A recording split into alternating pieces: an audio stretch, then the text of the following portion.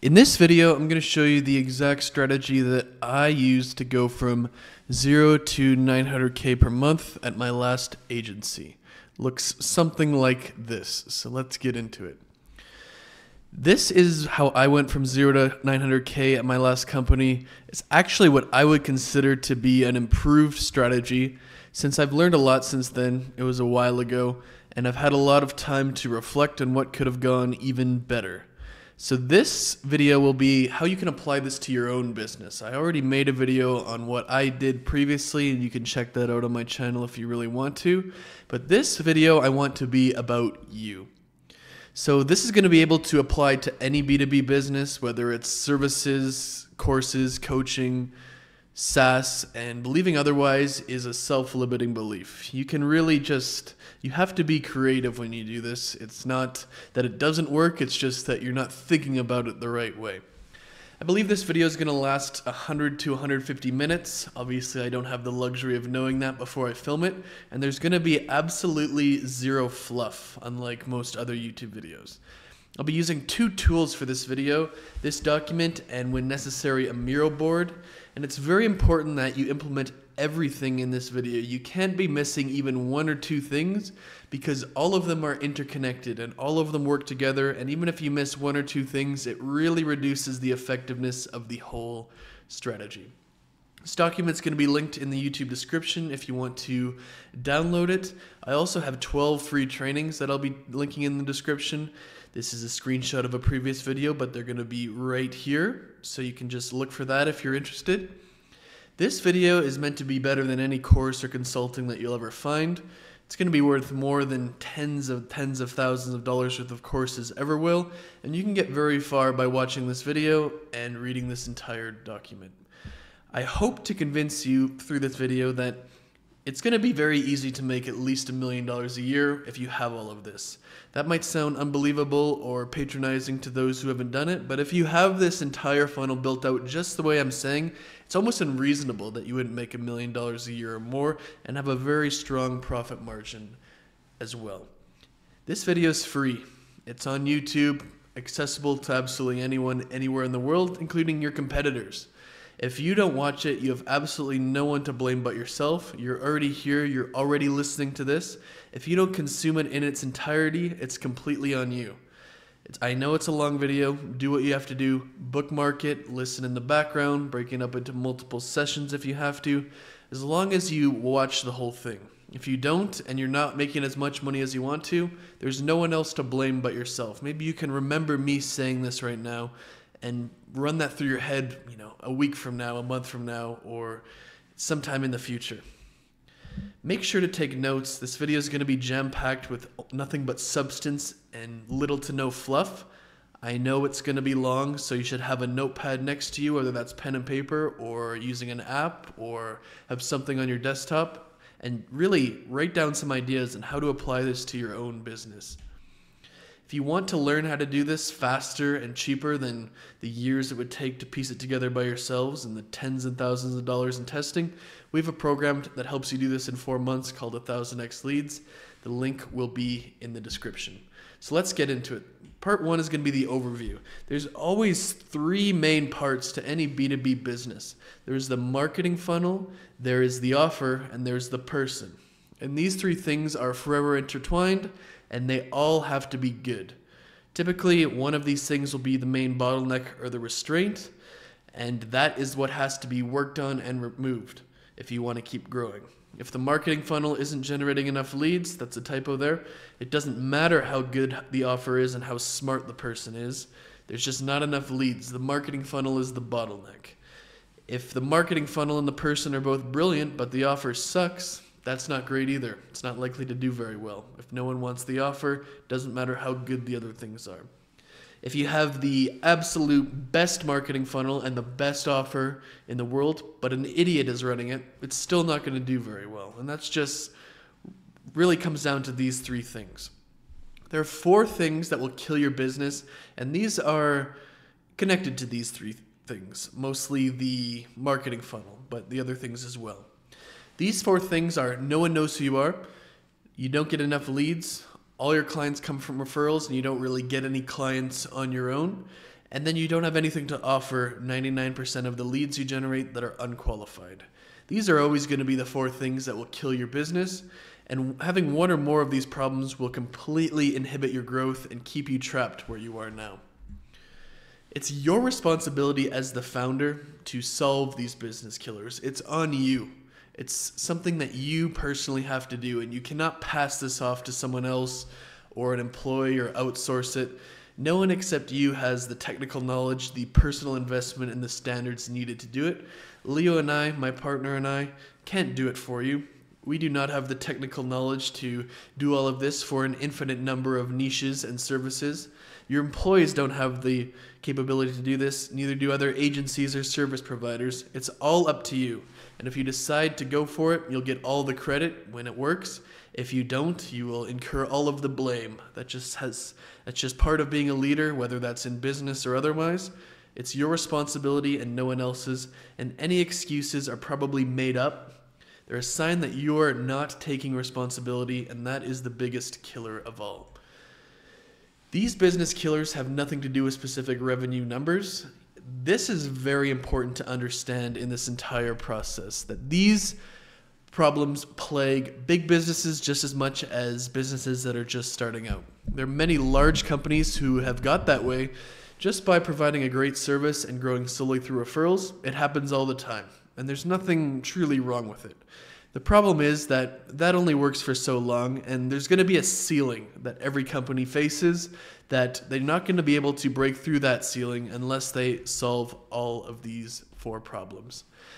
There's actually a fifth business killer, and this is going to be worse than the other four put together for most people. And that business killer is yourself. No ability to focus, lack of taking responsibility, crazy amounts of self limiting beliefs, poor work ethic, no planning, excuses for absolutely everything. There's nothing worse than business killer number five. And after talking with thousands and thousands of businesses in my career, this is likely the one that affects most of them.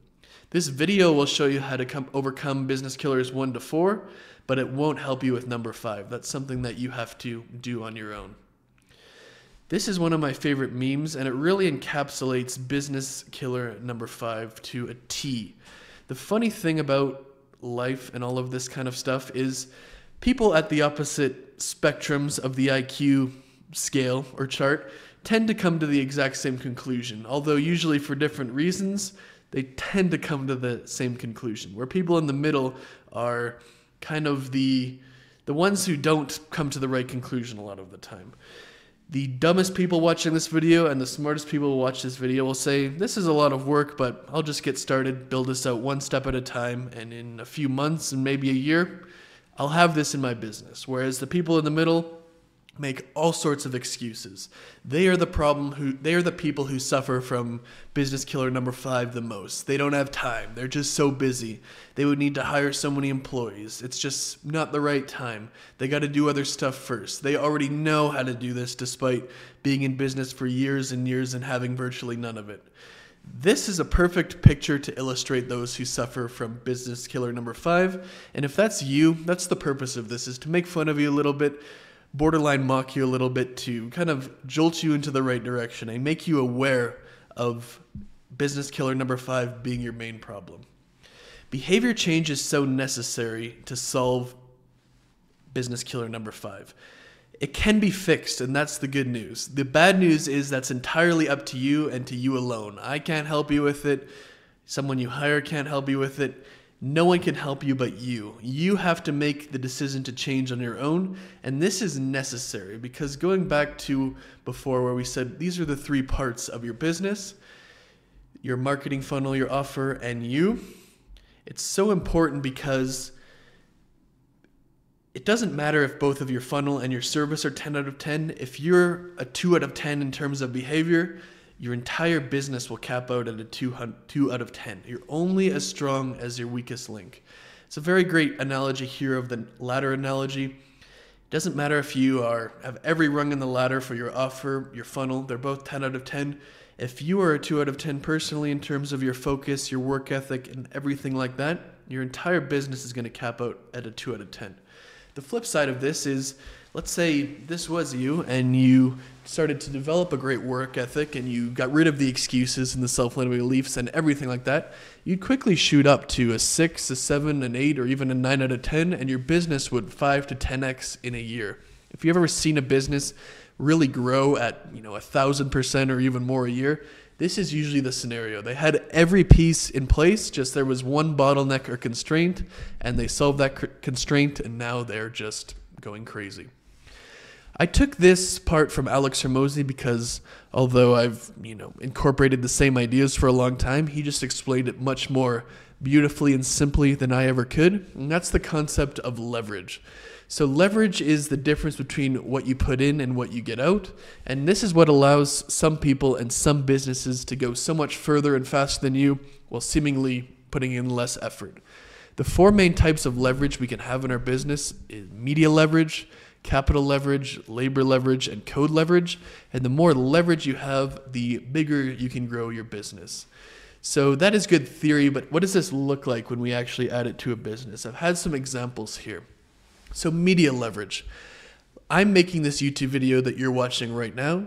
I only have to make it once, but a thousand people, 2,000, 10,000, maybe even more people will see it. I only have to make it once. I don't have to hop on a Zoom call with all 1,000 people, if that's how many people view this, and basically recite the same thing I'm doing now, each individually. That's a form of leverage. I make it once and thousands of people see it, and that's a form of media leverage. Capital leverage in the context of a B2B service business usually refers to your ad funnel.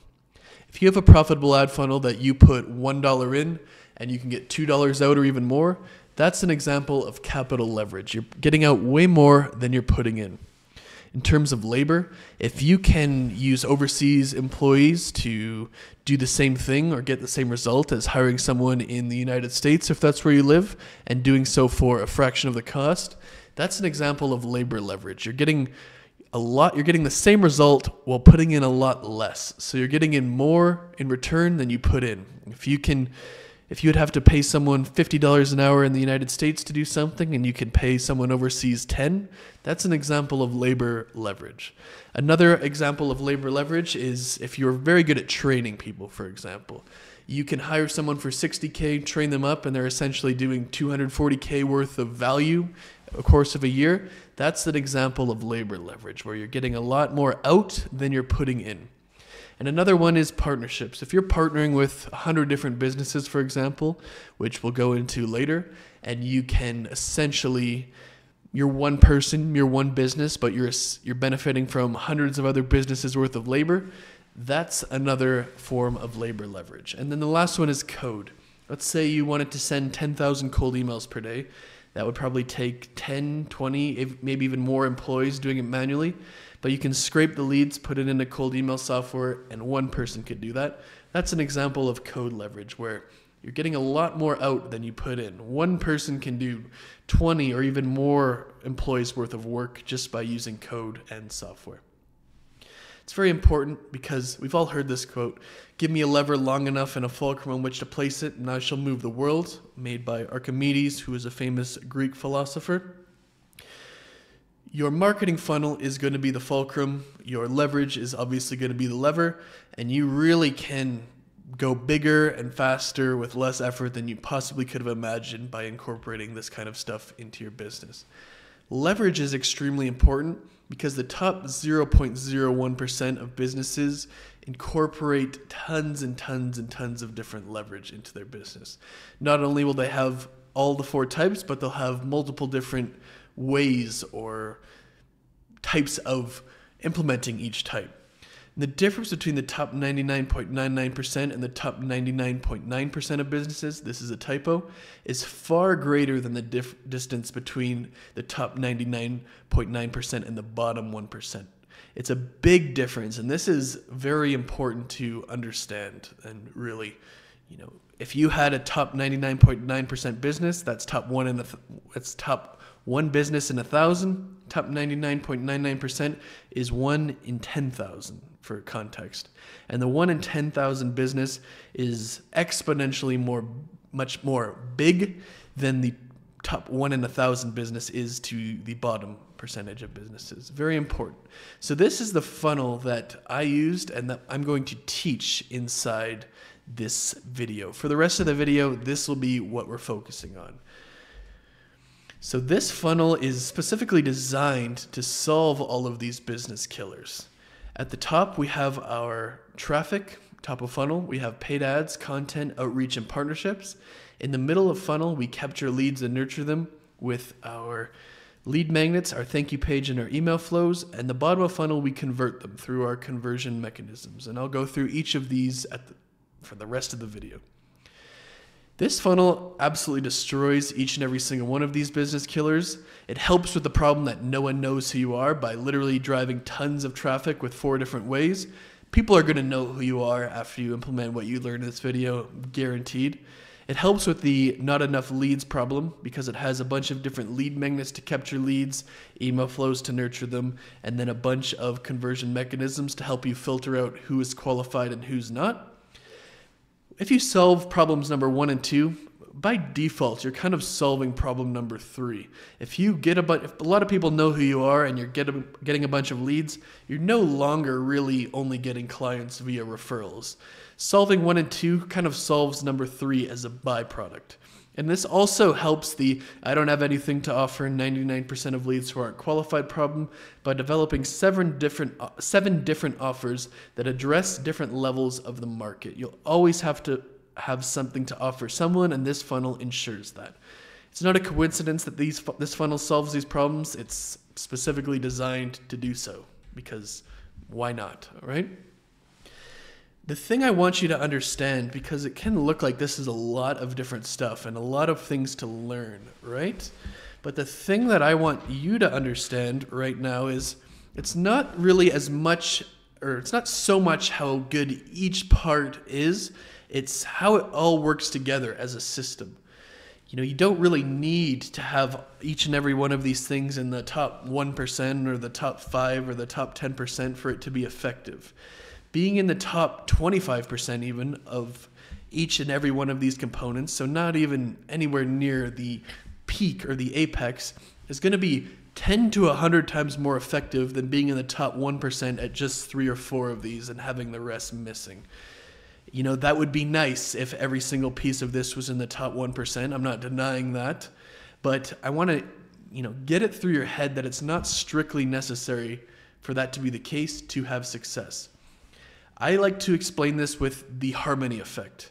So, individually, these parts might not be very good or might not be the very best, but it's similar to a bad singer. I'm a terrible singer, unfortunately, but if you put me in a group with a bunch of other bad singers and we start to sing, our voices start to form a harmony. And if you add more and more and more bad singers, eventually it starts to sound pretty good you know, obviously it would be better if we were all good singers. I'm not trying to say otherwise. I'm just trying to say that you do not have to be an expert or the very best at each part of the funnel to have a great result with it. This funnel is going to really put you on the right side of what I like to call the infinite cycle of lead generation. So, this is, in my view, could be one of the most important graphics or diagrams that you really ever see. And I'm going to explain it here because this either works for or against you, and you definitely don't want it to work against you. And if you, after I kind of explain it, you'll probably know which one is which. So when you generate more leads, by default, you become less needy. When you're less needy, it's easier to sell to people. When it's easier to sell to people, you're going to get more clients and you can turn away those people that you know are going to be nightmare clients. When you get more clients, you're going to get more referrals, which are more leads.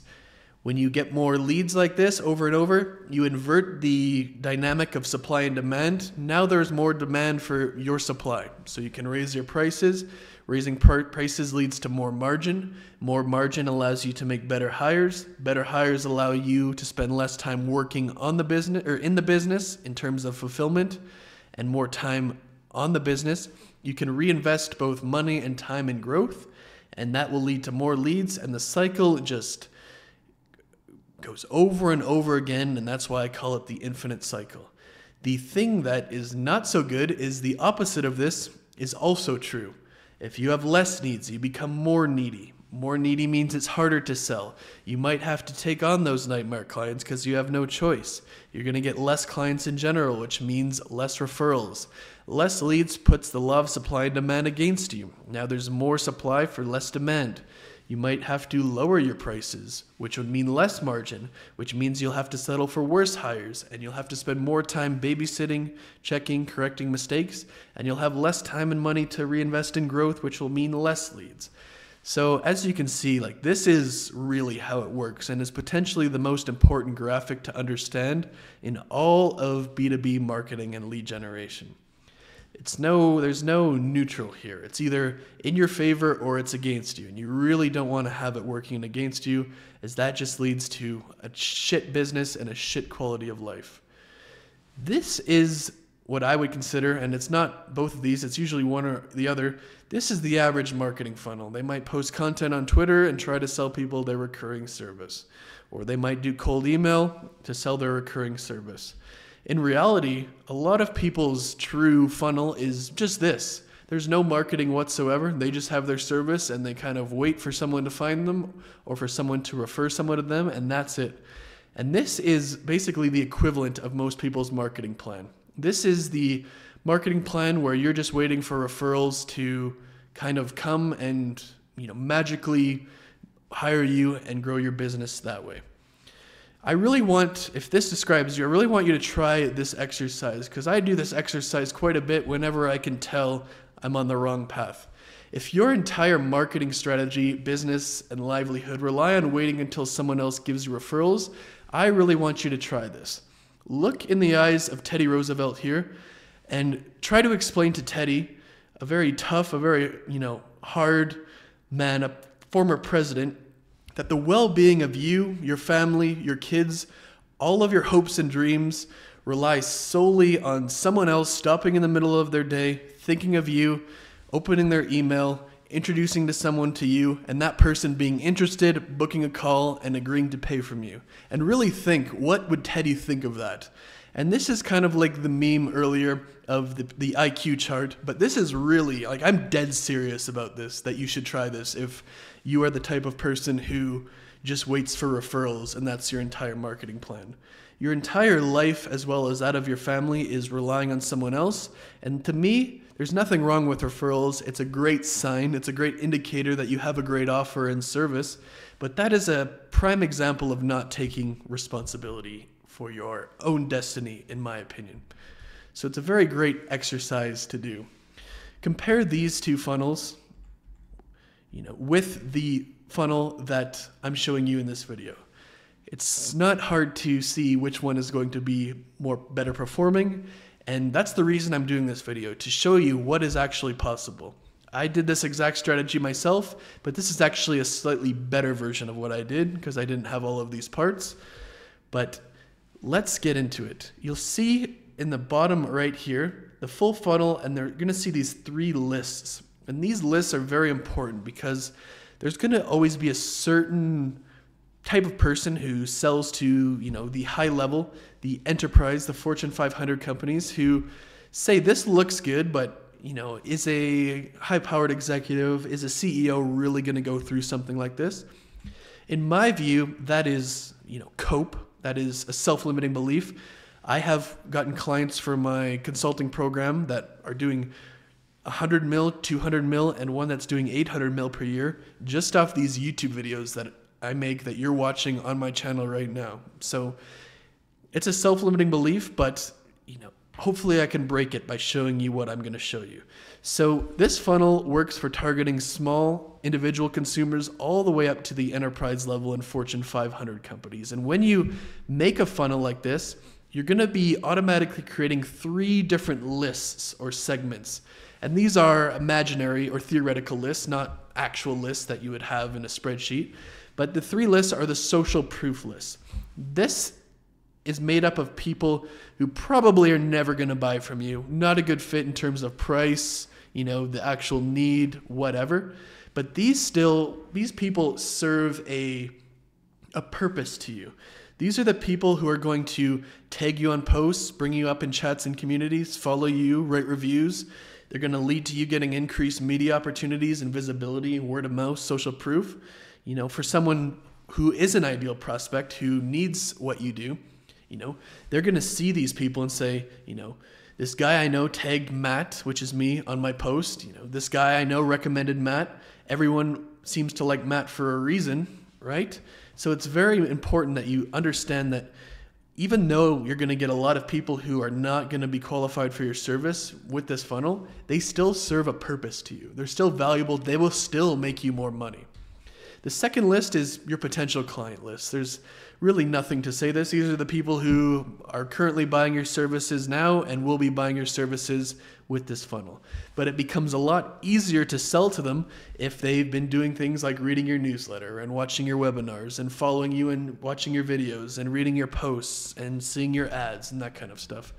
And the final list is your what we call the dream client list internally. And this is, you know, those high level Fortune 500 companies, enterprise companies, you know, your dream clients, the big ones that if you worked with them, it would look really good to have their logo or their case study or their testimonial on your website.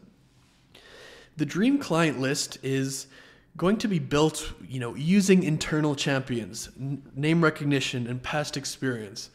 Well, it's not very true that the high level executives and CEOs are not going to go through this funnel if you have that self limiting belief, not to worry anyways, because these kind of sales really, you know, take place from the ground up. The boss is going to say, "We need someone to we need to find someone to help us with lead generation," and their employees who do know you, who have gone through your funnel, who might have been a low level employee in a previous company and now have been hired away and promoted as an executive and have past experience with you are going to be the ones vouching for you internally.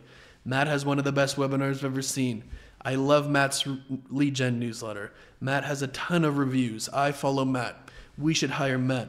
This is actually how it works at large companies in an enterprise sales, you know, cycle or process.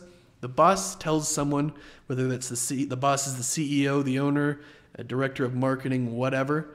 The boss tells someone, you know, their employees that we need to find someone and you want to be the person your employees recommend to the boss. Let's go to part one, which is the top of the funnel. There are four ways to acquire customers. And at top, we have our paid ads, our content, our outreach, and our partnerships. What's important to realize is that all of these things are important to have because all of them make the others more effective. For example, if someone is much more likely to respond to your cold email, which is a form of outreach, if they follow you and consume your content, have seen your paid ads for a while, than they would be if they've never heard of you before. Another example is that if someone loves your YouTube channel and you start running YouTube ads and they see those ads, they're much more likely to click. We solve business killer number one by incorporating these four main traffic sources, and if we do if we do paid ads, outreach and partnerships and content, people will know who we are, and that's just a fact. So let's get into the each individual parts. We'll start with paid ads, which is right up here and is circled. The reason that people fail so hard with paid ads in an agency or a service business or any form of lead gen sense is because they think about them completely improperly. The most common thing for people to do is to treat lead gen ads the same way they would treat e commerce ads, and it's especially true for businesses who serve e commerce brands. Lead gen ads and e commerce ads are so fundamentally different that the only thing they have in common is they're both paid ads and they're both called paid ads. Literally, nothing else is similar in terms of the process, in terms of what you're trying to do, etc. In e-commerce ads, you run an ad and they buy or they don't. If they buy, that's kind of the end of it. When you run lead gen ads, the truth is when they sign up for the form and become a lead, that's just the start. The cash flow doesn't happen right away, and we really need to recognize this. There are four main types of ad funnels that really matter and that are available to anyone. They're the webinar funnel, the newsletter funnel, the group funnel, and the paid product funnel. Each of these work for any business, and it's not necessarily that you have to choose one or the other. You probably would start with one, but you can have all four because just like the different types of client acquisition, each one will make the other ones more effective. If someone has if someone is in your group and reads your newsletter and has seen your webinar and they start seeing ads for a paid product, much more likely to buy than if they saw none of those things. That's just one example. The webinar slash VSL funnel is the first one that I'm going to talk about. And this is a classic funnel that's been proven time and time again. The only thing that I don't personally like is how most people run it. So most people will run it right from a Facebook or a YouTube ad directly to the VSL or webinar sign up. And this is a big mistake in my opinion and does a few different things. Your cost per qualified call will be two to three times higher, which is a bad thing, than if you run it directly to the VSL or webinar sign up as opposed to running it through lead magnets. You're going to get calls faster running it directly to the VSL and webinar. That's true, but two to three times higher prices, if you're in it for the long run, that's not a good thing. The second thing that will happen is because they haven't gone through your lead magnets, your email flows, and that kind of stuff, a lot of the time they don't even know what you're offering and what you do. And this leads to a lot of bad quality calls, which ruin your sales team's life. And also, because they haven't gone through your lead magnets and email flows, they're not going to be very nurtured and there's not going to be much rapport on the call. This will make it harder to sell and your close rate is going to be a lot worse. And for these three reasons, I prefer to play the longer game, which takes two to three times longer, and run all of my webinar and VSL ads through a lead magnet through the thank you page and email flows and then to the sign up, where most people will run their paid ads kind of all the way around and try to circumvent all of this and just get right to a sales call. So, this is what it would look like in kind of the funnel path. You'd run a paid ad to a lead magnet, they would be redirected to a thank you page added to the email flows. And the email flows and thank you page would promote the webinar or the VSL sign up and the webinar and VSL would help you determine if they're qualified or unqualified. This is what it really would look like. So you'd have an ad, they'd go to a lead magnet, and you'd collect their email address. They, once they sign up for the, the, the form, they'd be redirected to your thank you page, which would promote the webinar sign up. They can either sign up directly from there, they'll also have sign up links in the email flows. Your appointment setter will also encourage them to sign up You'll post content with a link to where they can sign up, and you might have some retargeting ads. One way or the other, the goal is to get them to sign up for the webinar, which will sell a productized or introductory offer, usually for $2,500 or less, something that they could just check out with without having to go on a sales call. And once you do a great job with that, you would want to go and upsell them to your main recurring service. The second kind of funnel that I really like is a newsletter funnel. So this funnel really involves running paid ads to a lead magnet that is relevant to the target audience and then converting them over time via a newsletter. This is especially good for super high ticket offers that have a long sales cycle. Like let's say you sell something that's 250k where you know they got kind of got to think about it. It's a corporate environment. You you know, a newsletter is a great way to stay in touch over the long term. And it also works for services that people only get when they need it, you know, in an emergency, like plumbers or like hiring lawyers. Also good for them too, because you don't really probably wouldn't have a, a group or a paid product for like a plumber, right? I just I don't know what you would possibly make it about. But if you have a newsletter that, you know, they see your face, they see your name, you know, every single week, and one day when they need plumbing services, you're going to be the first person they think of. So this is the typical funnel path where you have a paid ad that goes to a lead magnet. The lead magnet also goes to the thank you page and adds to the email flow. And the newsletter over time will help you determine who's qualified and who's not. The newsletter funnel is kind of similar, and the newsletter funnel is unique in a way because what regardless of what type of funnel you're running, whether it's a webinar, a newsletter, a paid product, or a group funnel, like you're going to get their email address in all of those scenarios. So even if you're running any other funnel, they're kind of going to be added to your newsletter funnel by default. You'd have an ad that goes to an email only opt in with a co registration pop up. If you don't know what that is, Google it. I'm not going to go over that here. Your thank you page makes them aware of the offer. So it's very important that they know what you're selling.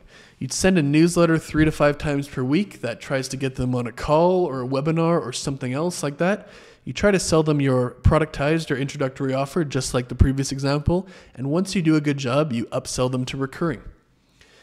The group funnel is my personal preference, and it involves running ads to a lead magnet and then trying to get them to join a group of yours where you can start to develop a relationship and talk to them. This, in my view, is either the absolute best type of paid ad funnel by a large margin or the worst by a large margin. And the difference between the two is how much effort you put into it. If you don't put in a lot of effort, this really sucks and is worse than paid, other paid ad funnels. But with a lot of effort, it's by far the best. It's the one that's the least automated. You know, your paid product, they buy it or they don't. Your webinar, it's pre recorded your newsletter, you write it, you know, you know, take an hour per day and write it. But with the group funnel, you gotta really be in there and talking to people and managing it. So that's why that's where the effort, you know, is required.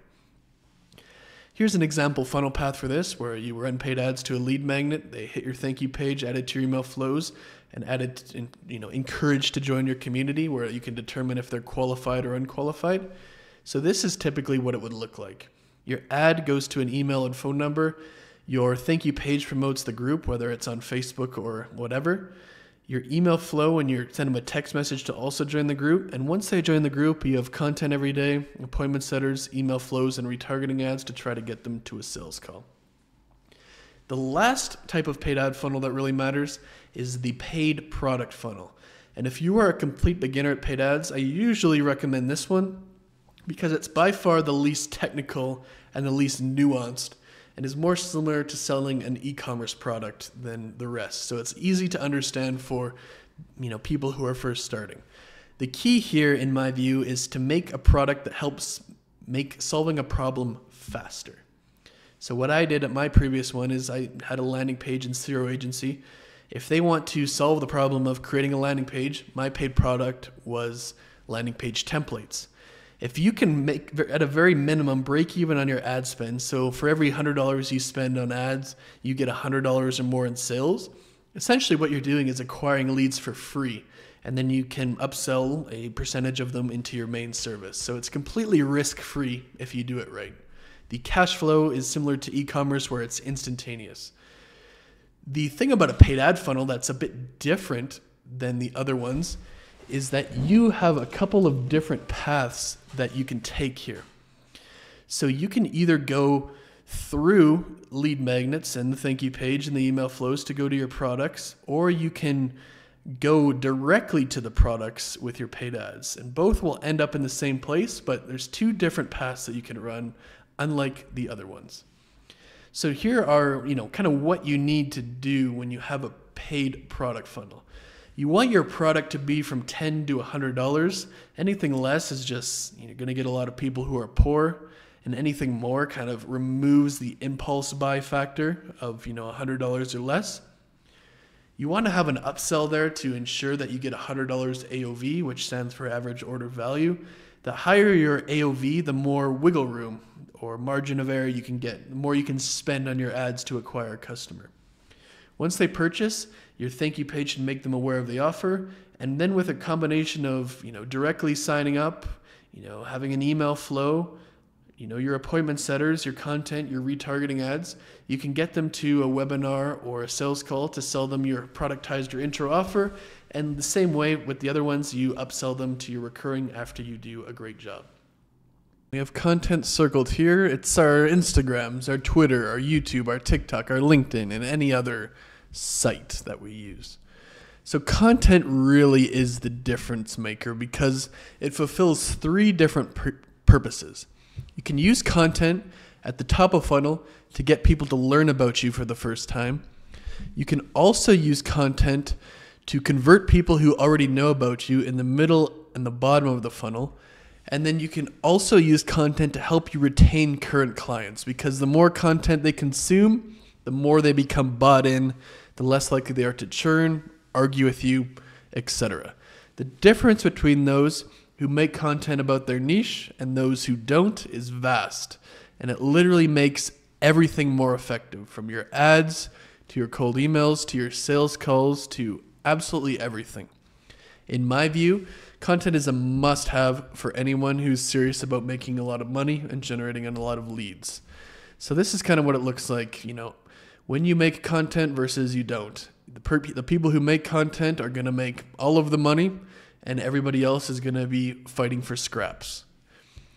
You don't have to make original content for every single platform, but you should be posting on every single platform, in my opinion. So, for example, your Twitter posts can be repurposed and cross posted to Facebook, Instagram, LinkedIn. Just by turning this on in the settings of a lot of Twitter schedulers, it will turn it into a carousel for Instagram or, you know, just cross post it.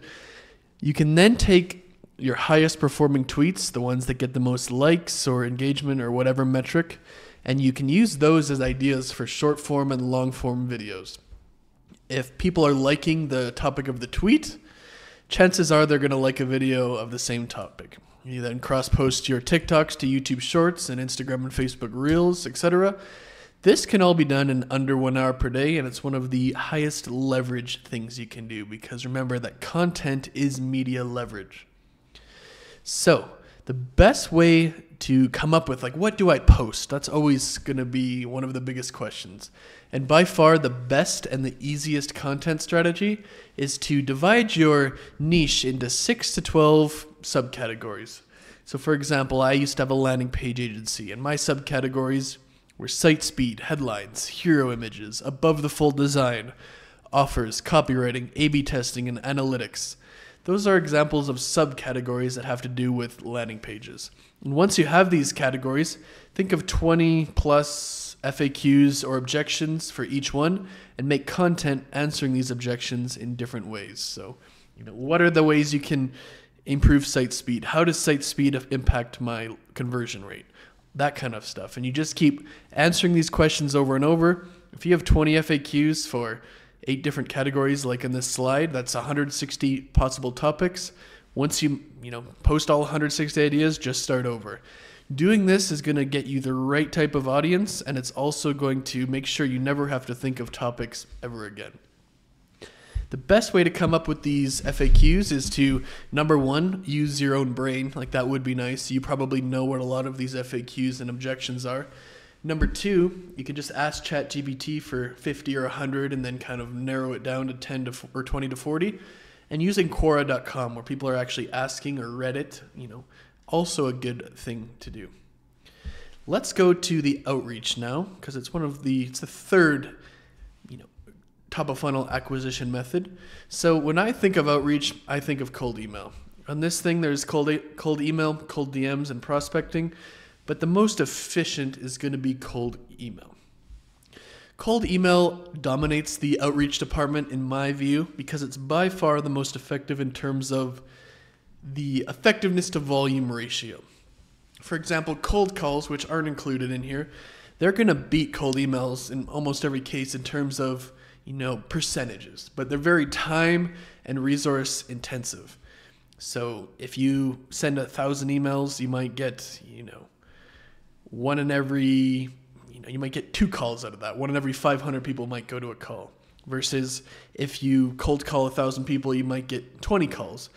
But the efficiency is just so much worse. A single person can send, you know, 50,000 cold emails per day if they really wanted to and just sit there and reply to anyone who's interested and a single person can make 250 total cold calls at best. Cold email is a volume game, and if it's not working for you, like this is an example of you suck at it. You just don't have the skills or the understanding.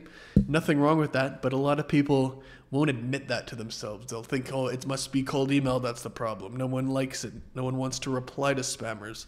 But if it doesn't work for you, it's just you're not doing it properly and you're probably not sending anywhere close to enough cold emails.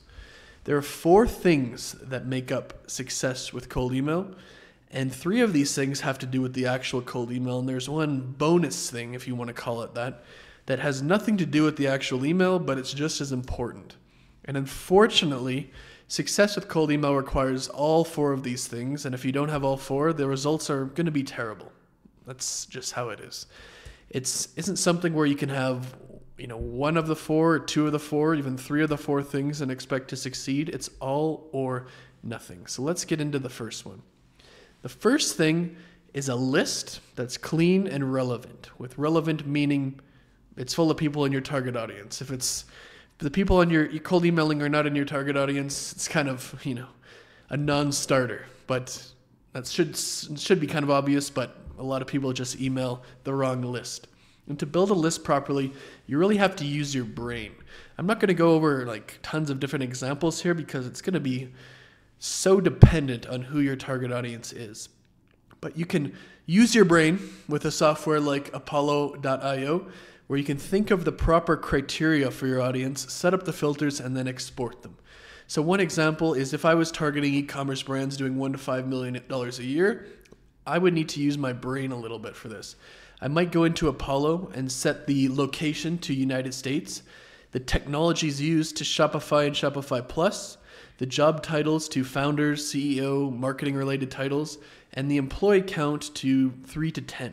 Because based on my brain, my background in e commerce, I know that if someone uses a 3PL, which stands for like it's a shipping center, a third party logistics center, and they don't manufacture their own product, you can build a pretty big e-commerce brand with just 3 to 10 employees, maybe, you know, a founder or two, a marketing person, some customer support people, you know, operations. 3 to 10 people, you can really get to 5 million dollars a year. So this is an example of knowing your you know, using your brain and knowing your niche. That's why you know, you really need to learn how to do this yourself as opposed to just kind of get someone to do it for you. So the first thing is who's the correct audience? You know, the technology, Shopify, titles, marketing related, founder related, location, United States, employee count 3 to 10. You'd want to export this list if 80% look good. So you're just going to get a massive, massive list. If you go through like 20 of them and 80% look good, that's probably something you want to export. If not, 80% look good or 80% don't look good. Probably want to mess with the filters a bit until 80% or more look good. It's never going to be 100%, so you know, don't feel bad. And then you want to clean the list with million verifiers. So you get rid of people who have invalid emails, whose emails are going to bounce, because that's really bad for your email deliverability. The next thing is the offer. So your offer is what you are offering in the cold email to the person who's on the receiving end. And that will probably sound like the dumbest statement, but it really isn't once you take a look at it. Where most people go wrong is that they don't just have a terrible offer, they have no offer at all. The entire cold email is written around get on a call with me so I can sell you something. It's not really an offer, right? This is by far the biggest cold email sin and the reason for most failures. You know, why would someone want to get on a call with you? They didn't ask to be emailed. They have no idea who you are. You know, they might not even need that. What possible reason would they want to talk to you? Like I'm being dead serious here when I'm asking these.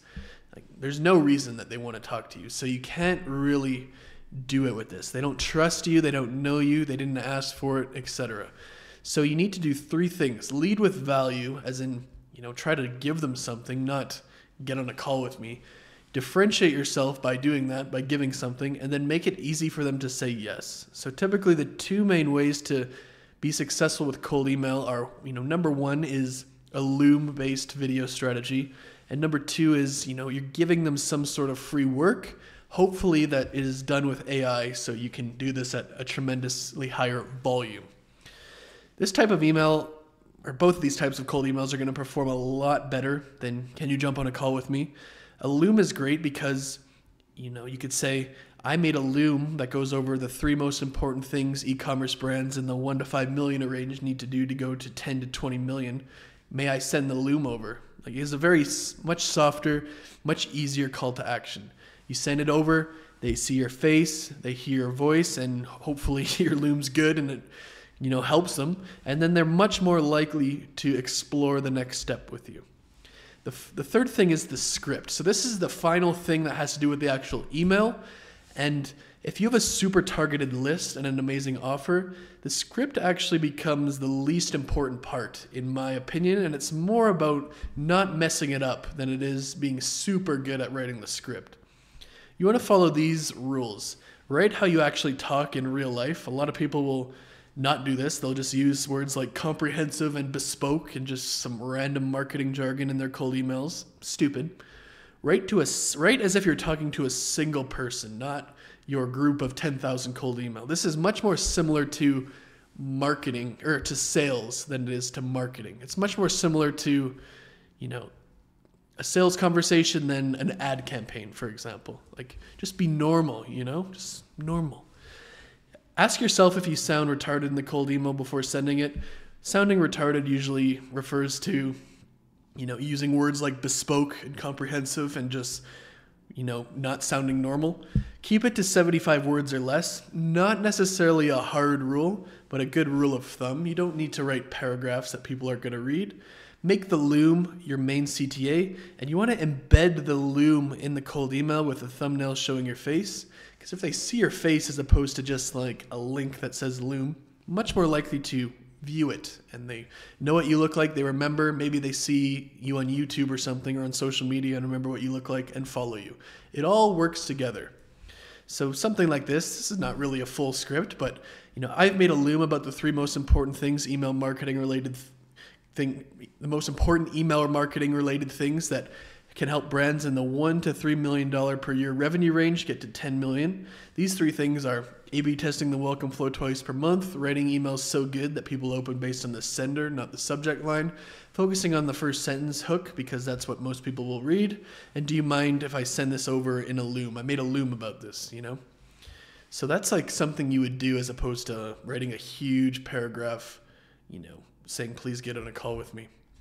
This is definitely not a complete script. I made it in about five seconds before I recorded this, so don't copy and paste this one. It's not complete. And the last thing, the bonus thing, the thing that I said before has really nothing to do with the cold email is what I call non outreach related gains. So this is everything that happens not in the actual email.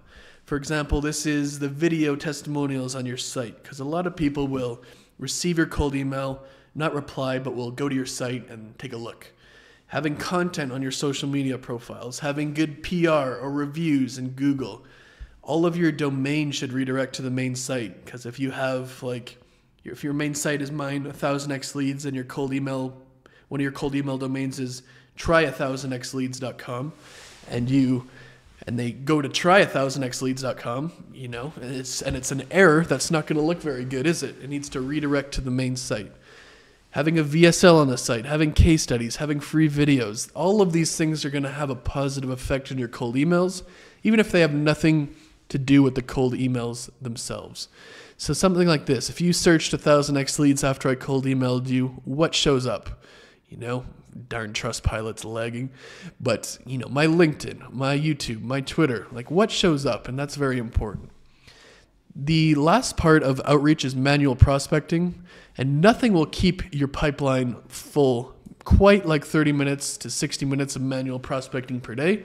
This is where you actually manually go through LinkedIn and Twitter or whatever and start reaching out to people and trying to form genuine friendships. So even if these people don't buy, they might know people who will. And networking prospecting like this will add a level of consistency and stability to your business that not a lot of other methods can provide. Nothing on earth, in my view, is going to be more boring or tedious than manual prospecting, but in the same breath, nothing is going to help your business more. It's simply the price that you're going to pay for success. So the next part is partnerships. We, it's one of our top of funnel thing. We have white label, referral, media, and joint venture. So, referral and white label are essentially the same thing. They're one of the most powerful things in your funnel to get these kind of partnerships, and they're the same thing in the sense that the exact same avatar or partner or person is gonna, you know, you're gonna be reaching out to the exact same person with this. And whether it's referral or white label is simply a matter of how they most prefer to work with you. If they want to work with you in a referral sense, they'll just introduce you to their clients. Others will want to hire you for your services in a white label sense and then offer it directly to their clients. It just depends. because it's so powerful because if you partner with 50 or 100 of these people over a year or two and you solve a problem for their business, essentially you're going to be taking advantage of a lot of labor leverage. You're going to have tons of different partners feeding you clients with you really not having to do anything. Another form of partnership is a media partnership. Usually, this will be like YouTube video interviews, podcast interviews, guest posts on websites, guest posts in newsletters, speaking at events, things similar to this. These are so powerful because you're essentially leveraging your partner's audience for your own gain. Think about it. They've spent years and tens and thousands, maybe more dollars building their audience, you know, developing trust, you know, giving goodwill, and essentially that's transferred to you and your business in the blink of an eye when you have a media partnership like this one. The last one is a joint venture. And if you can partner with someone to create an offer that is better than what either of you could create on your own, that's an example of a joint venture, and these can take many, many forms, far too many to list out here in this video, but these are so powerful because you're essentially combining your marketing and client pools and experience to make one bigger, you know, offer that will grow much larger than either of you in the partner sense would have been able to grow on your own. You need to have absolutely all four of these things. They all work together and they're not separate things. They're all just your business marketing funnel. It's not paid ads, it's not content, it's not outreach, it's not partnerships. It's just your business. It's all the same thing. They all work together to get you leads. And this is a very big paradigm shift that will help you grow your business bigger than ever before. Each of these things provide leverage in their own way, and that's why it's so important, and that's why we can build such a great business. Content obviously builds media leverage. Content and media, in my view, are kind of like interchangeable terms. You make it once, and an unlimited number of people can potentially see it. Paid ads are a form of capital leverage. If you can build an ad funnel that you put in $1 in ad spend and you get two or more dollars out in revenue, that's unlimited leverage for your business in terms of capital and money. Outreach is usually a form of code and technology leverage. You know, especially with the cold email, we can scrape tens of thousands of leads in an hour import them to our software, click start, and we'll reach tens of thousands of people per day if we wanted to, all automatically. Partnerships are a form of labor leverage. You're benefiting from the time and resources of other businesses to help you grow your own. Like I referenced, if you have 100 partners, you're essentially benefiting from the labor of 101 people and businesses, and you're just one person. You're benefiting from your, your business, which is one plus 100 others. You're getting in you're getting out a lot more than you put in for all of these different, you know, strategies because they all incorporate leverage to a huge degree. The next part is the middle of the funnel leads. So we've gone over essentially what is the top of funnel traffic, but how do we go to the middle of funnel leads? So the middle of funnel, I said it in the beginning of the video, but if we don't remember, it's the lead magnets, the thank you page, and the email flows. And we're going to start with the lead magnets here. Clients have problems. People have problems. You solve problems. If people didn't have problems and you didn't solve problems, you wouldn't be in business. There wouldn't be a capitalist society, and there would really be no reason to for anyone to exchange money. So here's a example here. Let's say business owner X is trying to start a YouTube channel. Lots of problems associated with this. How do I set up my camera and lights? How do I make good titles? How do I make good thumbnails? And all the way down the line. YouTube is very difficult. That's what they're thinking because all of these problems exist in their mind. You know how to solve these problems in the case of this hypothetical YouTube marketing agency. If you didn't know how to solve these problems, people don't wouldn't buy from you. You do know how, and this is what makes people buy from you. They're not an expert, they don't know what to do, and most of the time they don't have the time to, or desire to do it anyways. So your lead magnets are basically an extension of your brain put in a document or another format that you can send to people to communicate your knowledge and expertise to them. It's important that you put your heart and soul, every piece of knowledge that you have, you give away for free in these lead magnets because people can't read your mind. A lot of people will make their lead magnets very basic, and like I said, people can't read your mind. If your lead magnets are basic, people will think all you have is basic knowledge and they won't hire you. You are the expert. All of these problems that exist, you know how to solve.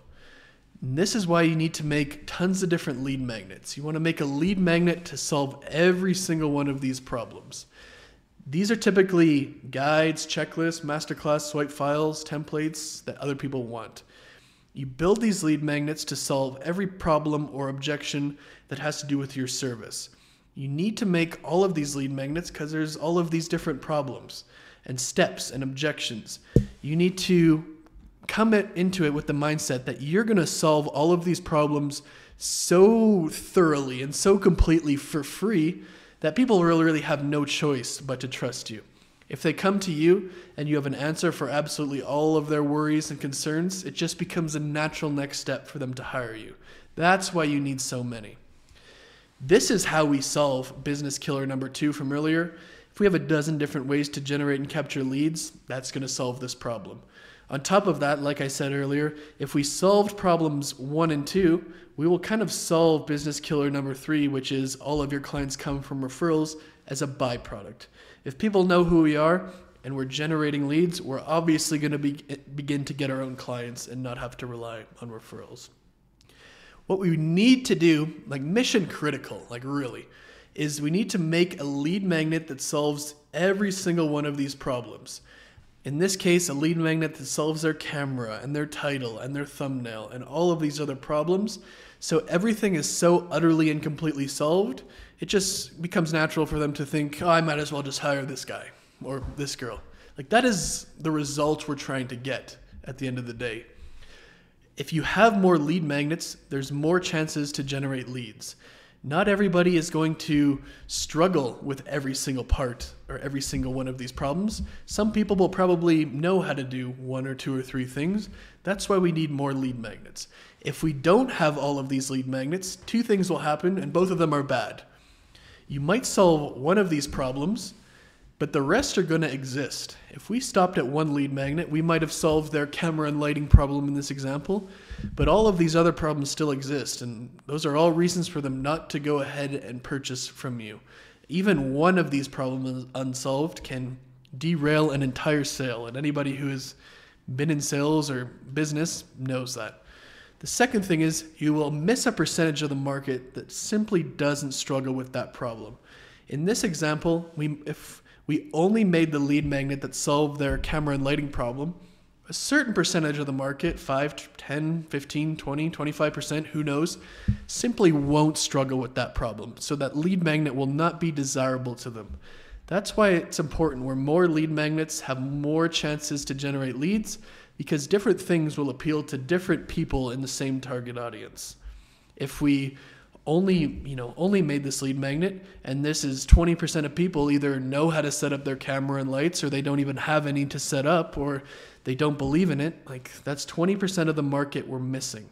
And when we only have one of these lead magnets people aren't necessarily grateful to us for solving their problem. They're thinking about all these other problems that aren't solved and they're going to look for someone else to help them and that someone else is not going to be us to brainstorm the lead magnets is very similar, or not really even similar, but identical to how you would brainstorm your content strategy from earlier.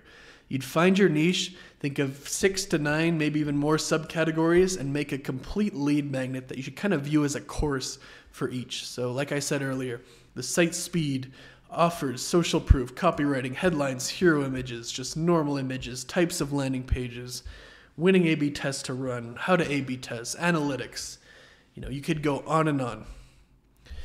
The most important part about your lead magnet is the quality. Because, like I said earlier, if you have a basic lead magnet, people can't read your mind. They're going to think that all you have is basic knowledge, and no one wants to hire someone with basic knowledge. So, we want to follow the VAR formula. Number one, value. That's the V even though your lead magnet is free, would you honestly pay $50 for it? That's an important question to ask yourself and probably some friends. Hopefully, you have some honest ones. And if the answer is no, then it's not good enough. And that's basically all there is to it. Number two is actionable. Is there a, an exact plan in each lead magnet that they can implement within 24 hours to get some progress, to get their first quick wins? This is in your favor because if they listen to your advice and get some quick wins, they're going to trust you a lot more and be more likely to buy from you. And then readable. Imagine if we had this video that I'm going over so far, and there was no headlines, there was no different slides, there was no images. It was just one big block of text that I was scrolling down. Not readable. One of the most important parts of your lead magnet or any form of writing or documentation is making it readable. One image and one idea per slide. Your lead magnets are going to be distributed with opt in pages. Because the lead magnets are free and because they're going to be clicking on an ad or a CTA from your content, they should know more or less what they're getting into. It's not a crazy commitment. So less is more on these type of pages. You might just have something like this, not a full page where you know it takes an hour to read it. Less is usually more. But there's kind of some nuance here that you have to think about. You kind of think about your opt-in pages coming from paid ads versus opt-in pages from content a little differently due to the nature of, you know, how they work.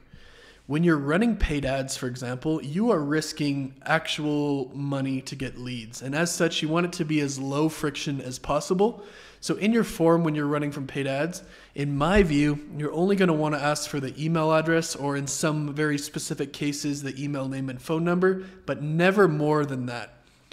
For every field you add, like this one has email, every field you add, will increase your cost per lead by 50% or more. And that's something very important to keep in mind. That's a bad thing. We're going to be having to pay 50% or more per field for the same person to sign up. Even if you only ask for their email address, and there's a typo here, there are still plenty of opportunities to get more information from them later via your conversion mechanisms, so it's not a big deal. It's just a better idea to ask for only email and get leads for half the cost or less when running paid ads because of the money involved. So this is the same picture, but this is what you would have for a paid ad opt-in page. It's a bit different with content because you have a couple of advantages. The first is it's going to be free or very low cost because you know making content is free unless you have like an editor or something. To, so to some extent, it doesn't really matter as much if they opt in because you're not losing tons of money on ads.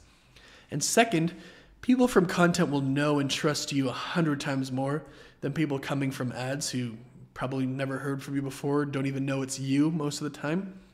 And as such, you can ask for a lot more information and people will much be more much more willing to give it to you. So this gives you an opportunity to add form fields and get more complete and useful data. So remember the first one we just asked their name, but if it's coming from content, we might ask their name, their email, their phone number, their website, their monthly revenue, or kind of whatever we else we view as necessary. Now let's go to the thank you page and the email flows because this is still the middle of funnel. The lead magnets work with these two things to, you know, really push people down the funnel. Regardless of if you're doing paid ads or content, when they fill out the form, whether it's this kind of form or this kind of form, they're going to be redirected to your thank you page. Or they should be if you're doing this right. This page provides a great opportunity to promote one or more of your conversion mechanisms, which we're going to talk about later. But the conversion mechanisms are things like webinars, live workshops, groups, paid products, stuff like that. And these things are going to have a much higher perceived value, which is the important term, than individual lead magnets will. And because of this, we can ask for more information if they want to have access to them. So even if we only got their email address in our paid ads at the start, if they want to go to our webinar or our group or stuff, we can kind of compensate for that by asking them for their name, email, phone number, URL if they want access to the rest. So this is the best of both worlds. So like this would be a group thank you page. This is the one that I actually use for my business. So my forms would be redirecting to this thank you page. And if they want to join the group, that's where they have to put in their name, their revenue, their phone number, their email, their URL, and that kind of stuff. So you can think of it as even though it kind of sucks that we don't get all of this information right away, we still have a chance to do that deeper into the funnel. So let's talk about the email flows now because we've kind of talked about the lead magnet and the thank you page. And the final thing to do is the email flows. So I think of this in two separate things. You'll have two separate sets of strategies for these email flows.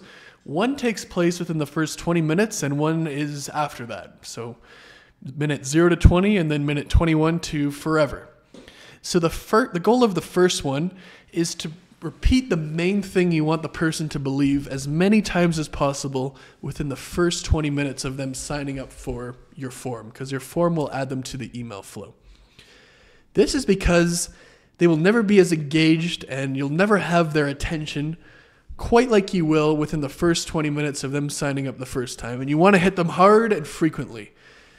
Them forgetting who you are is a hundred times worse than them being annoyed and unsubscribing. Trust me. We want to make them impossible to forget who we are here.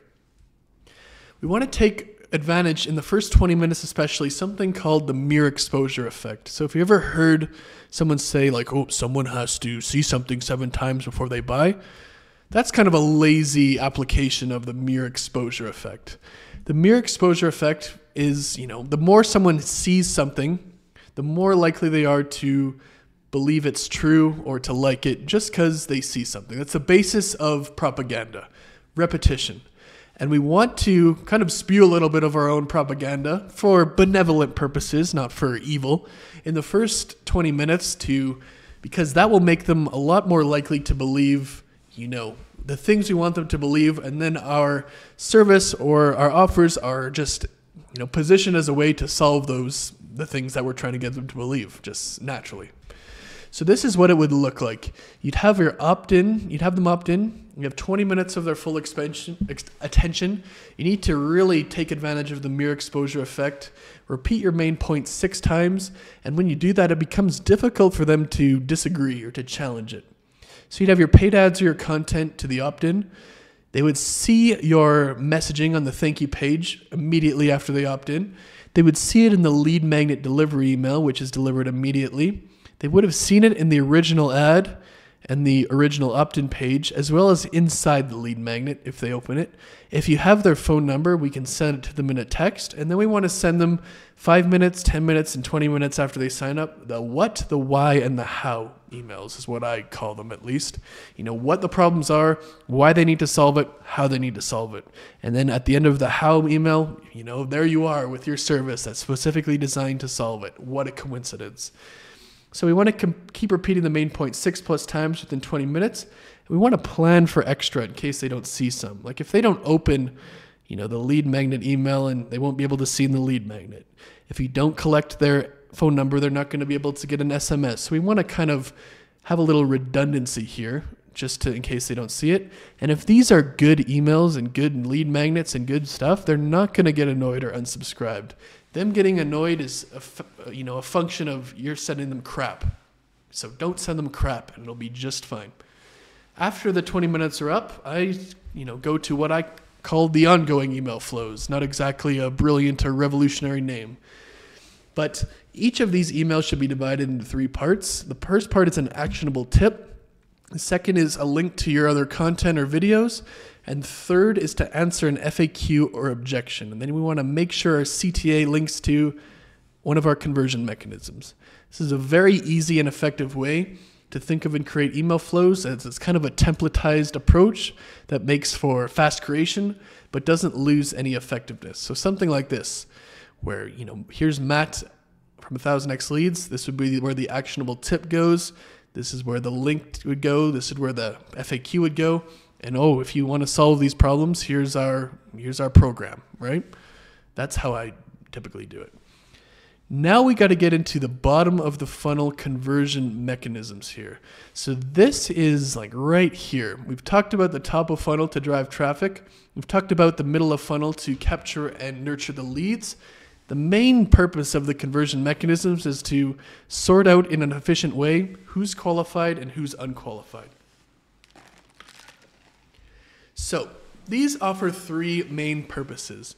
Number one, they offer more value and push people further down the funnel, get them to trust you more, like you more, that kind of stuff. They allow you to collect more information to enrich your data, like in the situation where I said, you know, you only collect the email from the paid ad and then to join your group, they have to do the rest. And the third is they help you determine who's qualified for your service and who isn't. And without these, it's impossible to do these three things at scale. There are a few main types of conversion mechanisms. We have our paid products, our webinar slash VSL, our live workshops, our newsletters, our group slash communities, our appointment setters, our content, and our unique mechanisms. So numbers one to seven are what I would refer to as like standard conversion mechanisms. And almost every non-standard type, you know, as a case of number eight, will fall under the name unique mechanism, as the name suggests. That is unique to your particular business. If you have a way of converting people that aren't part of the standard one to seven, by all means, go for it. Like, uh, obviously. So that's why unique mechanisms is there at the bottom. So let's get into these one at a time. If they buy your paid product, it's a great conversion mechanism because if they've done so, a few things are guaranteed to be true. They have a credit card, you know, because they bought your product.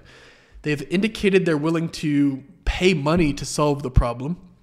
And since your paid product is essentially should be a miniature version of your main service, they indicated that they might be a good fit for your main service. You know, I sold landing pages and landing page templates. If someone buys landing page templates, like it is possible and maybe even likely that they need landing pages for their business, right? Someone who spends even a dollar has indicated they're infinitely more qualified than someone who hasn't spent anything at all, and that's really the value of paid products. Webinar and VSLs are also great because they allow you to give more value than a normal lead magnet, and these are usually or almost always on video. If someone knows your name, they know what you look like, know what your voice sounds like, the amount of trust built is infinitely higher than if none of those things are true.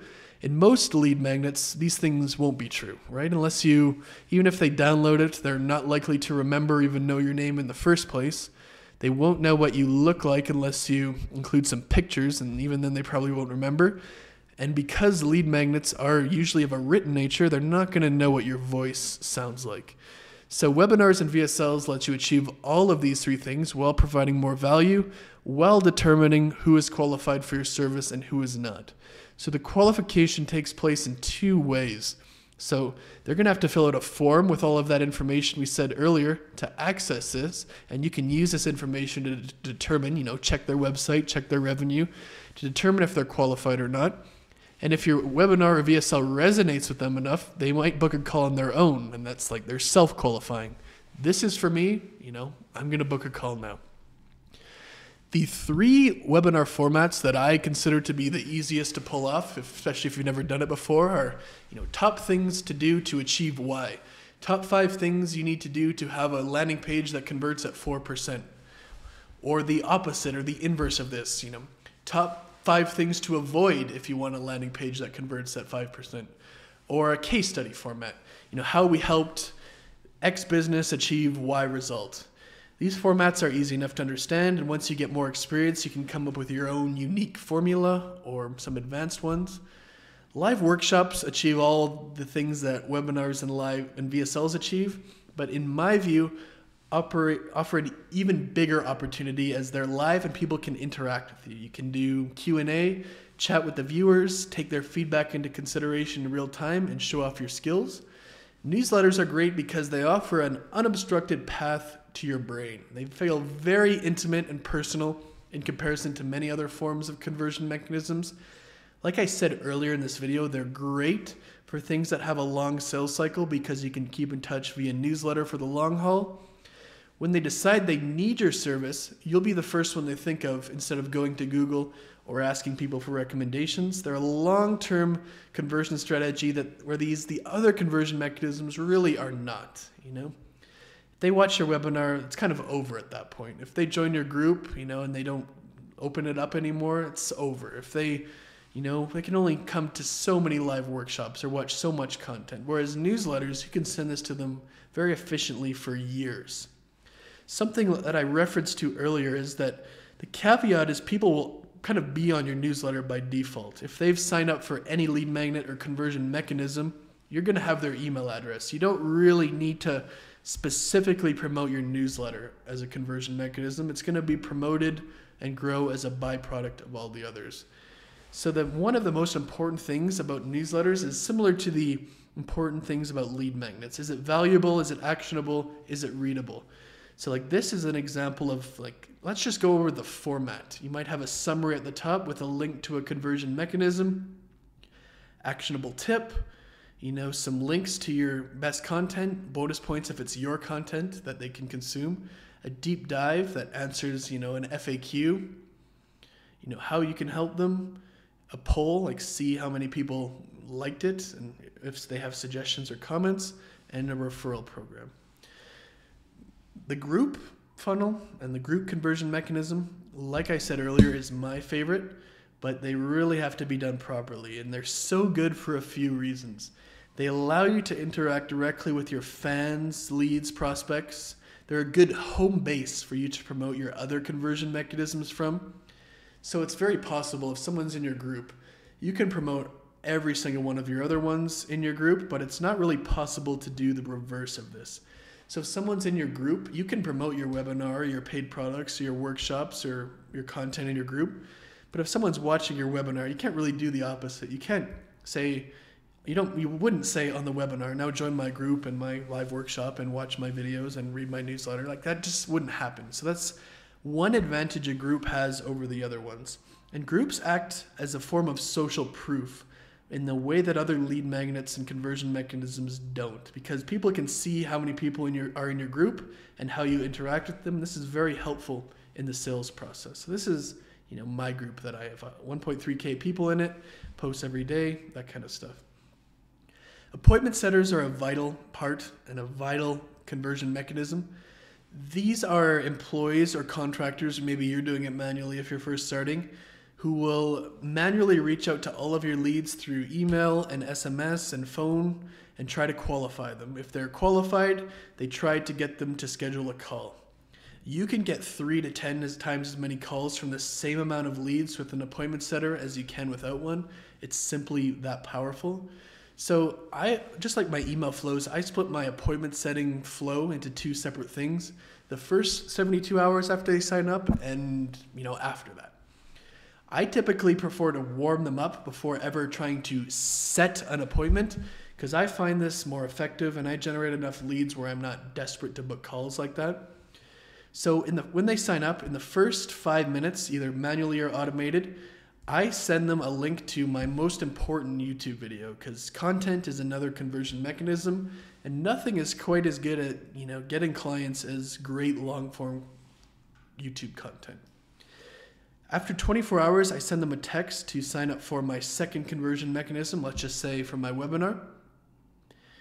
After 48 hours, I send them a text to join my third one, my live workshop. Hey, you signed up for my webinar and stuff, but I'm also doing a live workshop on Tuesday at 12 p.m. You know, sign up for it.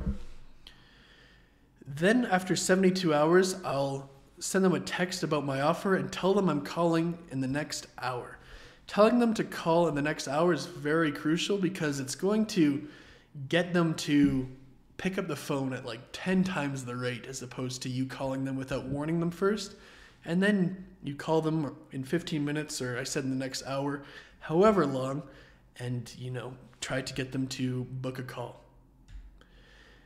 Uh, in terms of ongoing appointment setting, you know, once the 72 hours is done, I usually switch them over and then I, I just try to appointment set two times per week for 12 weeks before I eventually give up.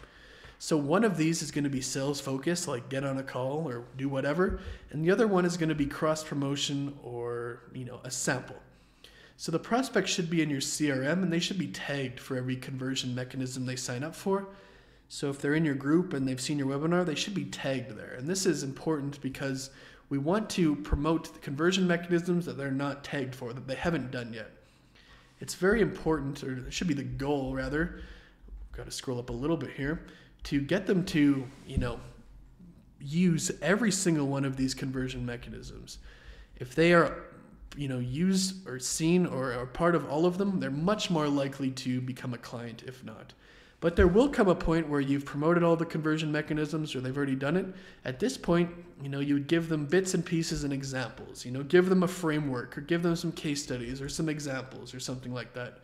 So one time per week is to try to get an appointment, one time per week is to send them to other conversion mechanisms or something like that.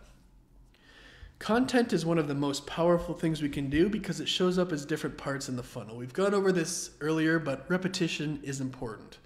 If you remember, we had content at the beginning of our funnel as one of the top of funnel traffic sources, but it also appears again as a conversion mechanism because a lot of people will come into our funnel through paid ads, through outreach, through partnerships.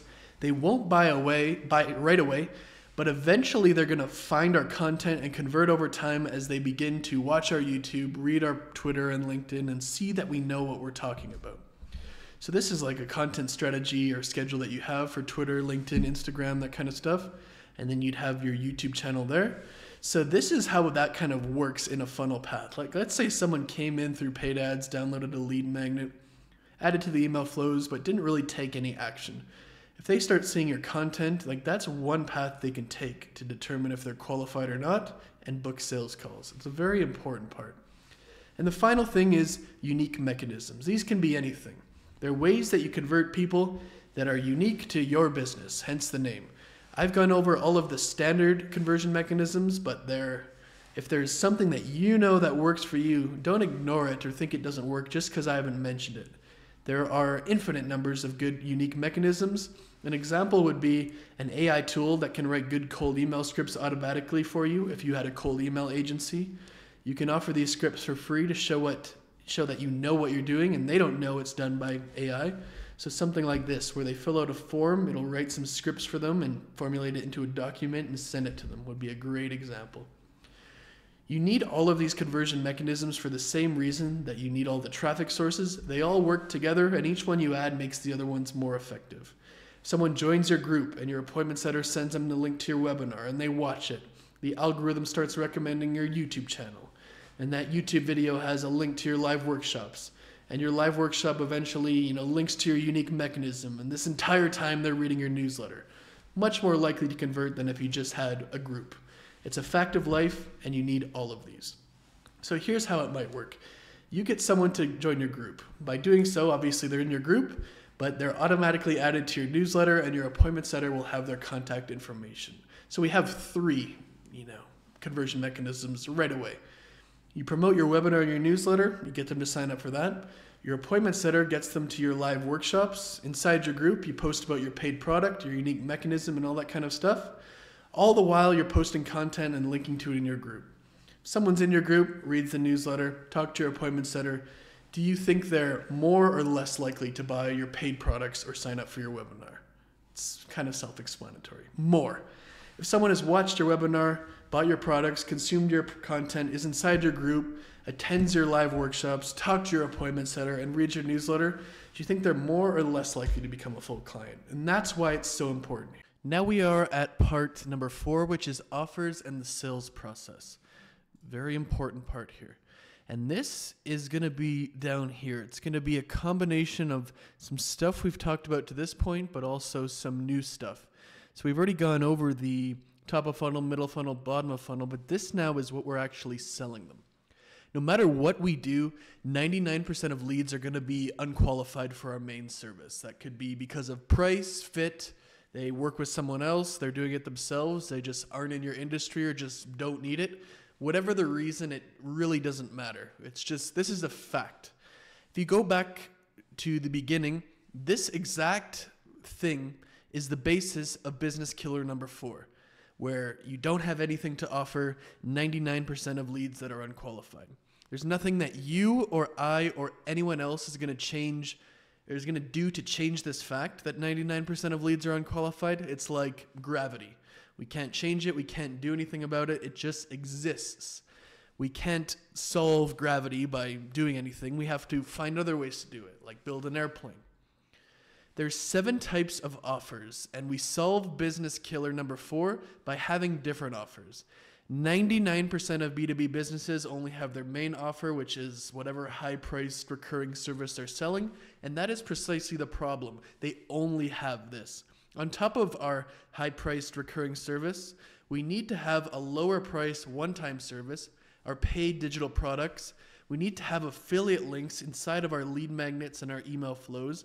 We need to have relationships with different agencies or people or freelancers or whatever and we can refer people to them that they can do it for cheaper and we'll be collecting a fee.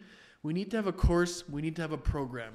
And these are all offers that we need to create because not only will we get two to three times more revenue, but we're going to get like five to 10 times the profit, which will lead to a more stable and profitable business that will let us make more money and will be much more attractive to a potential acquirer one day if we have ambitions to sell our business. So, the first thing we need to do is we need to sell the one time service first.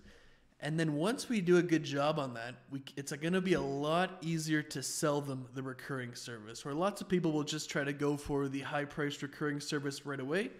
If we sell them something that's a lot cheaper than that and we prove ourselves, we'll have a much higher close rate because it's lower risk, lower commitment, and all of that kind of stuff. And if we do a good job, which we should be, you know, very easy to just say, okay, now I have this full service that, you know, I want you to hire me to do. That kind of thing. Here's the, you know, kind of the thing here. So we want to use our conversion mechanisms to determine whether they're qualified or not qualified, whether yes, they're qualified or no, they're unqualified. And that's really what's going to determine, you know, where we send them. We're able to qualify them with a couple of different ways through the data they put in the form when they signed up. If you remember way back when we have the form here, or they have to fill out a form to get in our conversion mechanisms. And the second way is with our appointment setter reaching out. If they are qualified, we'll send them to our one time or recurring service, as in, you know, this path down here. If they're not, we can send them to a course or program or refer them away or send them to the products or whatever we want to do. But it's very important that we have these things, and I'm going to go over some exact math here in a minute. So let's say someone comes in with paid ads, they download a lead magnet. They're in our thank you page, in our email flows, they sign up for all of our conversion mechanisms. We determine whether or not they're qualified. If they are, we might send them to our website, they watch our VSL, they go through a pre call flow, and they go to a sales call. If they're not, they're going to go the opposite direction with these dotted lines here having these things is often the difference between your ads being profitable or not. 99% of people who try to run lead gen ads end up failing. And failing is could mean a few different things. Obviously, if it just tanks and you don't generate any calls or leads, that's one way of failing. But really, anything short of running profitable ads could be considered a failure. And in most cases, Unprofitable ads really have nothing to do with the ads or the landing pages at all. It's due to the lack of these other offers. Think about it. If you are running ads and only 1% of people are qualified, that's like running ads knowing 99 out of 99 cents out of every dollar you're spending is going to be on is going to be lit on fire. And that's not a very good start, is it? It doesn't matter as much with content or outreach or partnerships if 99% of people are unqualified because those are very cheap in comparison to running paid ads or potentially even free if you don't have an editor and stuff like that. Where when you're running paid ads, like you are risking real money to generate leads, where content outreach partnerships, you might be risking a little bit of money to you know for the software or maybe for an editor for you know some labor costs if you have to hire someone to help you with those things but it's not anywhere near the cost of paid ads if you want to build a big business it's inevitable that you're going to have to make paid ads work and if 99% of your spend is wasted like right off the bat because you don't have these offers it's very unlikely that you're going to succeed so i have two examples here example A and B. Example A will be scenario one where you just have the recurring service and that's it. And the other version or example B will be you having all seven offers. And we're going to compare the economics of each. So let's just assume you have 100,000 email subscribers and you know you're pushing them through this funnel whether it's paid ads you know into your different conversion mechanisms, you know, determine who's qualified or not. If they're unqualified, there's nowhere to go. They basically just stay here. And that's what most people are doing. So let's say there's 100,000 people, 100,000 email subscribers, and 1% are qualified, because that's basically what it's going to be. That means there are a 1,000 qualified people, but that doesn't really mean a 1,000 qualified people that are going to book a call or care enough to do so or whatever only about 10% of people is what we're going to assume are going to book a call in this scenario because we have to choose some form of numbers just or it's just not going to work, right? We need some numbers for an example. 10% of a 1,000 people means 100 calls. And let's say we close 25%, which is about standard. That means we have 25 clients and we have an example of $10,000 net margin per client, which is $250,000 profit. Now we have example B, where we have all seven offers. We're not changing anything at all, except for the fact that these other offers exist. And this screenshot's a little blurry, but we've seen how it's supposed to look previously. So now we have the products, the affiliate. Now we have the one time service and the referrals and the course and the program. So let's see the economics here. We have the same amount of total subscribers and the same percentage are qualified, a thousand people. But now since we have the one time service, you know, that's cheaper, that's less risky, 50% more people book a call. So now it's 15% book instead of 10%. Now we have 150 calls instead of 100. Now we might close 40% instead of 25% because it's less risk this time. The one time service is available. So we're getting 60 clients instead of 25 because we're getting a higher percentage of people booking a calls because there's more options and a higher close rate. To make it fair, I've lowered the net margin from $10,000 per client to 7500 because the one-time service, not everybody's going to convert from that to the recurring service. But even so, this is $450,000 profit instead of the 250,000 before. But we are not done. That's just by adding the one-time service here. If we get 1% of people, 1% of this 100,000 to buy a digital product, that's 1,000 people times $100 AOV, that's another $100,000 profit. If just 1% sign up for any of our affiliate links, and we might have 10 or 20 affiliate links, and the average commission is $25 a month and they churn after three months, all what I would consider to be conservative numbers, that's another $75,000 profit. If we refer just 0.1% away, and I, there's a typo here, times a $1,000 referral fee for each, that's 100 referrals a year, one in every under three days, that's another 100,000. If we sell our course or program to 0.1% of this 100,000, and that's you know, giving us another thousand dollars per, that's another hundred thousand. With the exact same ads, the exact same funnel, nothing changed at all. We now have $825,000 total profit instead of 250,000. That is the power and that is the reason why you need to have all of these different offers. Let's say it's costing us $5 per lead maybe a bit high, but let's go conservative there. If we have to get 100,000 email subscribers at $5 cost per lead and we're only doing $250,000 profit, we're have a negative 50% margin. We've lost $250,000. But if now if we spend $500,000 to get 100,000 email subscribers, we have $325,000 total profit. You know, that is really what's going on here. Now these ads are profitable versus losing tons of money before.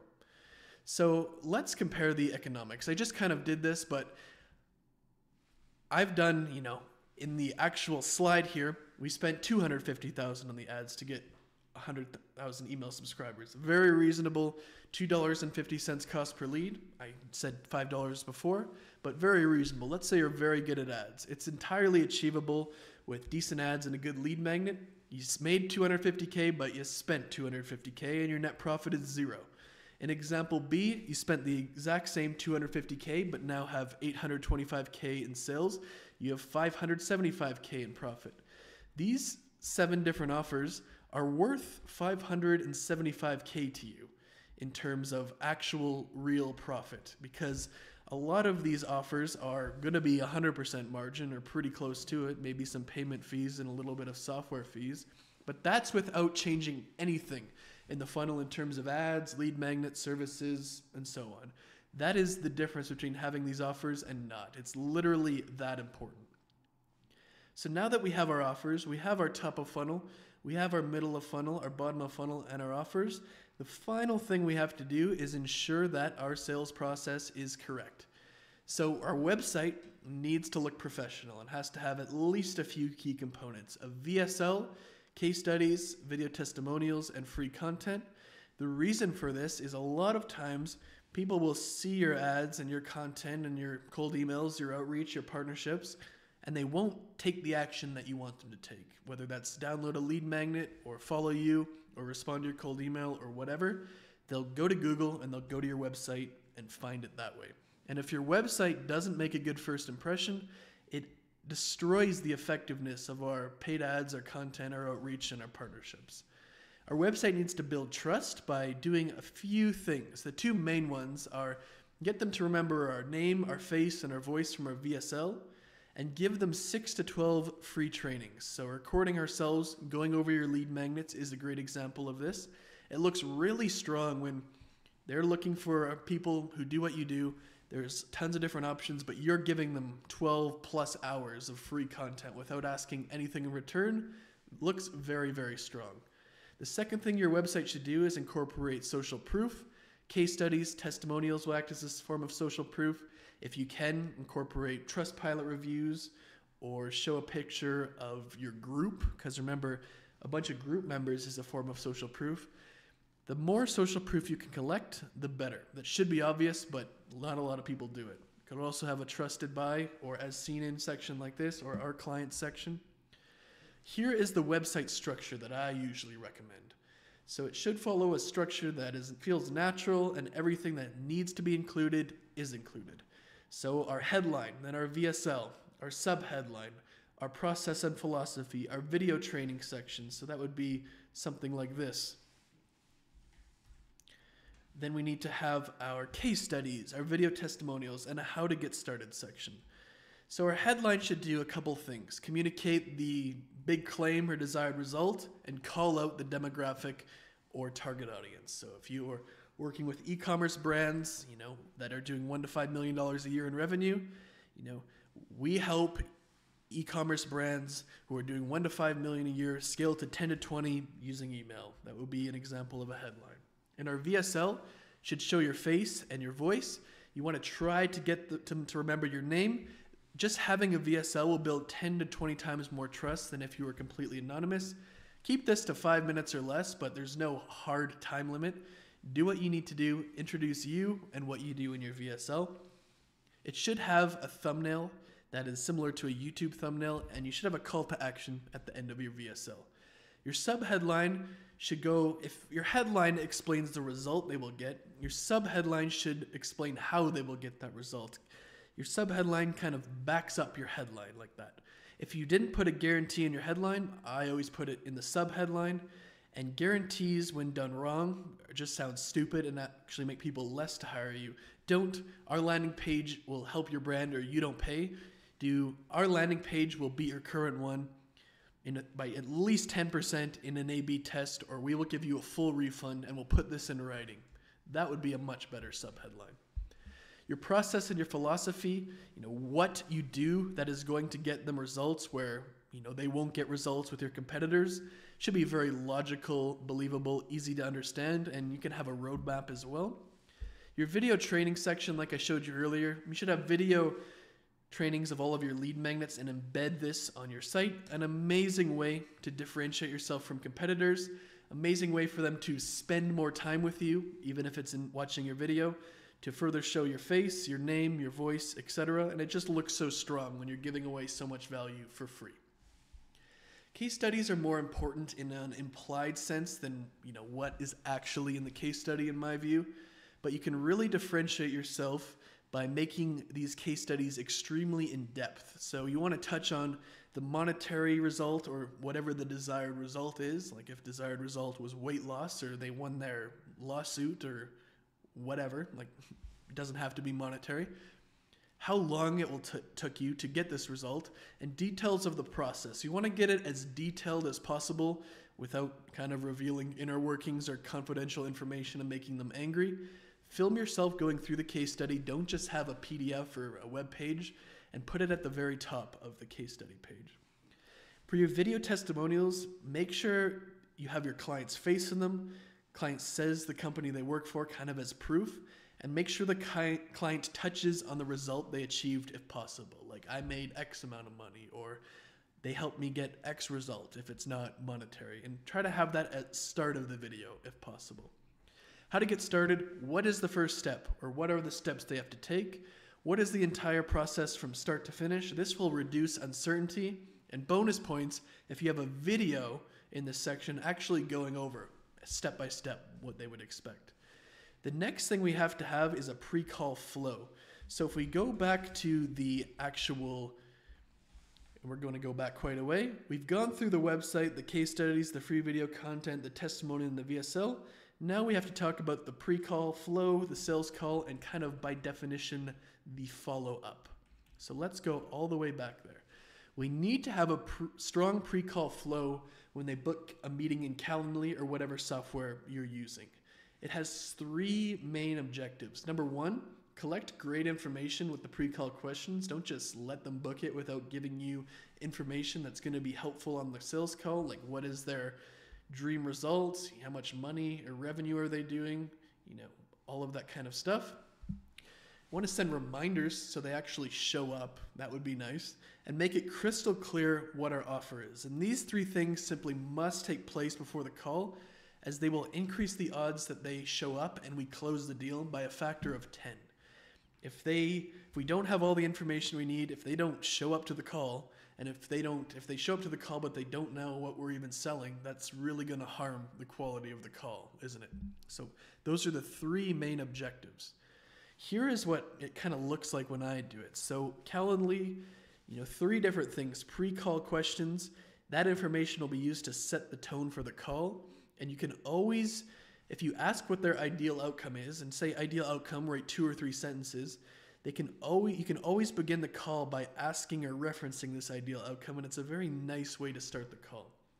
For reminders, you want to have at least three email and SMS reminders. This will increase the close rate, and in these reminders, you can link to your presentation or whatever case studies, examples, previous work that will be useful for them to know before the call. And in our offer document and video, when they sign up for the Calendly and they click submit, you always want to redirect it to your offer document or whatever you're doing. VSL, offer document, presentation. Don't just let the Calendly page, you know, say thanks for booking a call. Redirect to the proper page. And then we also in all of these reminder emails, like I mentioned, link to the offer document or video inside each reminder to increase the odds that they view it. For our sales call, we want to think of it assuming it's 30 minutes in three separate parts. The introduction, you know, this is the kind of bullshit, how are you, you know, that kind of stuff. This should last around five minutes. You ask about their ideal outcome, all of that kind of stuff. The presentation where you screen share that document or whatever document and you go over what it is you're offering should last between 5 and 10 minutes. And then the Q&A, overcoming objections, going for the close should last 15 to 20 minutes. If we follow this structure, we're going to have a nice key, you know, hit all of our key objectives that we need to in- increase our close rate. There's no really telling all the infinite possibilities and objections and ways a call could go. But if we have this structure, it will provide us with kind of at least a foundation to work off of, and that will prove invaluable to us. So I have the a doc or an, kind of a graphic here. So intro, five minutes or less. How are you? You know, I'm very busy. Little frame. First question is why they booked a call today and how, where they're coming from. Second question I always ask is to repeat or go over their ideal outcome. And then I transition from the introduction to the presentation by I think the best way to go is to show you an overview of how we can help, and this will last about seven minutes or however long. Okay? Okay, let's get started. So, introduction to us and our company. What are the problems that we solve? Why these need to be solved and the consequences of not, and then how we solve them with one to three examples, not very in depth, very brief.